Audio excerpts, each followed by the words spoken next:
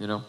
Anyway, eventually, um, my father went, um, you know, he, my father was born in Uganda. I'm born in Uganda. My father was born here in 1932. I was born here in 1956. Um, and we were, at the time, my father was in a place called Kabatoro, which is in uh, the western part of Uganda. Um, it's it's a it, near Uh, um, and uh, you know, he was uh, he, he, he had a a shop there. He had a canteen he was running in the game park, and there's a, a fuel station. And when the time came for us to study, we were we to be put in a boarding school. So when five years old, you know, I had to be sent to Kampala for education. And the only form of transport from a place like that was either a train or on the back of a, uh, a neighbor's lorry. You know, um, we had to, you know, uh, hitch a hike or request them to. It would take you eight or ten hours on those muddy roads in those days to reach Kampala. You can imagine if you, you know, so that's the kind of life, you know, we've had. Um, my father was basically a, a middle class man. He was not rich, he was not poor. He made sure that um, uh, there was enough good food on the table. Um, he made sure that we had uh, four plates of four pairs of clothes every year. One was the beginning of the school term, uh, two pairs, and two pairs we got when it was the Diwali. Diwali is a Hindu New Year. So the, the day before the New Year, you, you, you, you get these two, two, two pair of nice clothes. Um, and that's the kind of background I have. Um, in 72, um, I left Uganda uh, and followed my parents to UK. I was 16 years old. And the moment I land, landed in UK, I had to support myself. Um, I was in London. My parents were up, up north of, of, of, of England.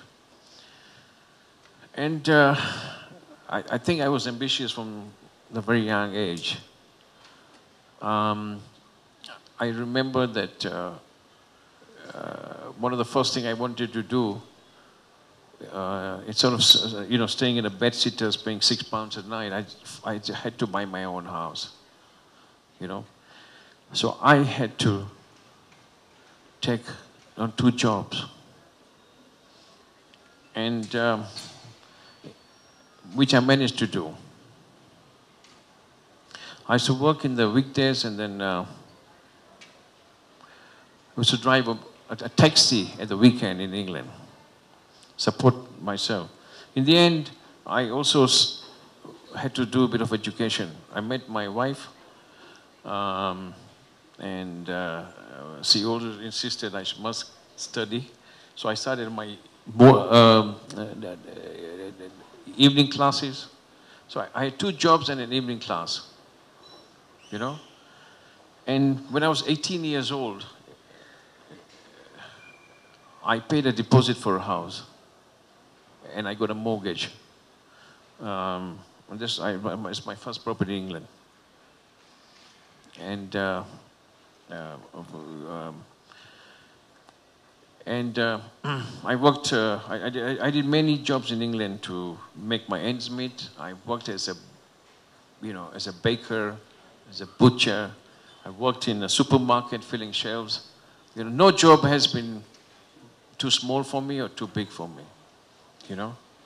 So I think it's important that uh, if you want to achieve your aims, uh, we, we go through all this. Um, I worked hard, and uh, in the end, you know, Africa is either in your blood or it's not in your blood. Um, and for me, Africa is my blood through and through. I was doing well in the UK. I decided, I left everything and I came back uh, came to Uganda in 1985. Um, and, and of course, one of the things that one has to do when you come back is so first you have to pay your rent, you have to pay your, you know, you set up oh, everything again. Um, and of course, I had to look for something to do, business. I, it took me one and a half years to find out what I wanted to do. You know, I had a limited capital. So in uh, December 1986, I started my first uh, shop in, on Kampala Road with a capital of $25,000.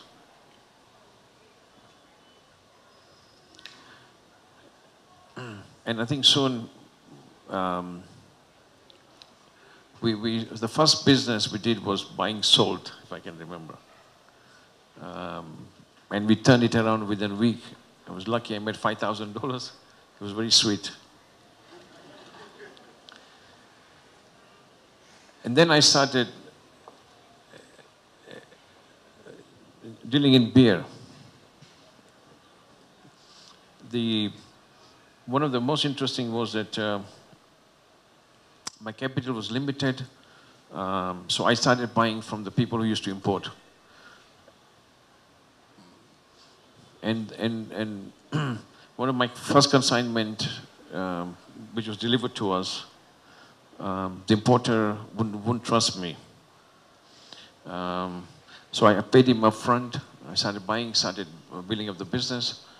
And um, then eventually what would happen, uh, he liked me and uh, we started doing business and, and I, said, I would tell him, listen, I'll pay you 50% now. Come after two days at four o'clock, your money is waiting for you. So he trusted me. He, he brought the, sold me the beers, took his 50%, and after two days at 4 o'clock he came, his money was waiting for him. And then his friend came doing the same thing. And I think we built up the trust. You know, at that time, the whole of the infrastructure, the, the whole infrastructure and business, and everything was broken down here. You know, it had not stopped. Everything was moving, but it had broken down. There was no trust. People didn't trust anybody. Um, and, and, and, and this is the kind of the environment we, we were in. Um, and, and, but it, I managed to, also in the process, I managed to make good friends. Georgie, our late uh, brother, we became very good friends uh, in the Bitature family. And in the, in the process, we all teamed, you know, with Georgie and us, we all teamed up uh, and, and, and, and really moved the, the beer business from a retail into an imported one. So we started importing beers ourselves. And you know, in few years, we were like number one beer trader in the country. And, and what it did for us, it created a cash flow. Now, when you start with $25,000, what is the most important thing in your first business? You need to create a business which gives you cash flow. It's a stepping stone to many other things. And of course, when the, uh, by 1990 or 1989, uh, the beer business came to a standstill. But what we had done in the process was uh, build up a network of uh, people who come and sell you beers. They, they need local currency. Um, so I was just one-stop shop for anybody who wanted to buy beer and who wanted Uganda shillings. I needed a foreign currency. And eventually we evolved from a, a wholesaler, I mean beer wholesaler into a, a foreign exchange.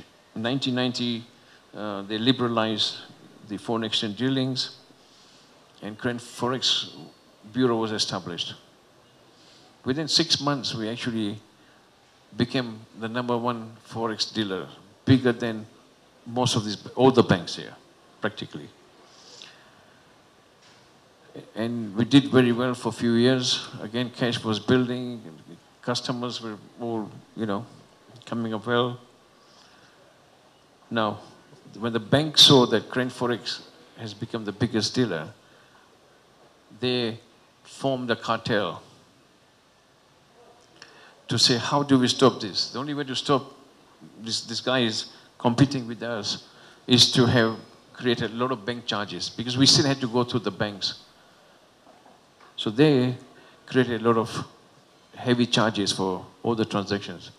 Now, of course, we are not going to sit and take it. As businessmen, you have a plan B. The plan B was to how to go into banking business. Um, banks uh, need a lot of capital, uh, which we had by then. We had created a very strong network of friends, business colleagues.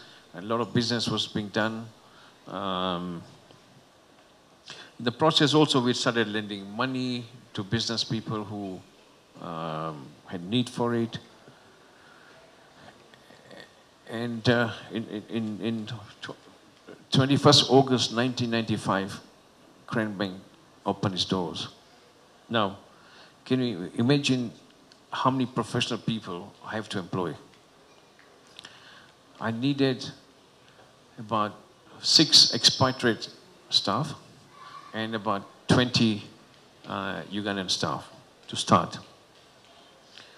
You know, when you're, in, when you're in business, you never think about your salary. But the first thing you have to think is to make sure that the, the people you employ, you have to pay them the salary in time. Now, that was the hardest thing for a person like me who had to employ these people, and I, I needed them.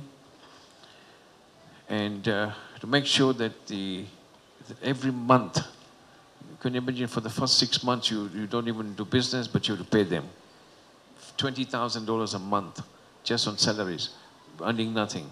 It's a, it's not much money now, but in those days, in 1995, it was a lot of money, a lot of money.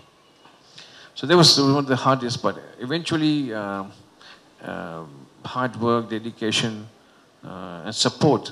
Most of all, the support from the business community. Patrick and uh, all my other colleagues, really, we in the first year of operations, we made profit. And that's very unusual. Eventually, we spread out into real estate, into hotels. Of course, all this investment we were doing also started reaping its benefits. But one of the, my most, uh, I would say, uh, was my patient was Munyonyo, but he needed a lot of money. And, as, as, and I couldn't put all the money in one go because first I didn't have it.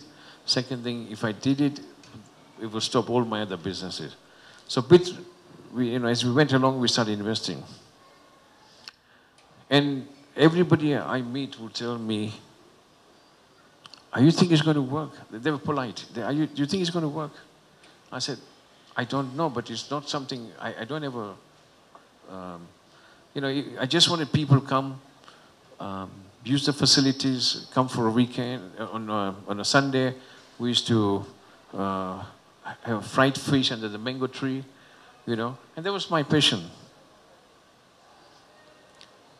Course, in Munyonyo from there uh, changed. I, and I also remember one day my seven-year-old son came to me, and I think this is what my wife, you know, must have uh, told him. He said, "I said, I said, Dad." this Munyonyo is going to bankrupt us. So I looked at this little boy and, you know, I, I smiled. Can you imagine seven-year-old coming tell you you're going to bankrupt the family? I'm the one who's made the money. right? I'm working and he's telling me he's going to bankrupt. But I smile at him, you know. I still remind him, but... And today, as you can see what Munyonyo is, and, and, and uh, is beyond even my expectations, you know. But it's a beautiful place. It's, for, it's in Uganda and it's for Ugandans. You know, I'm just a, uh, somebody who keeps it going.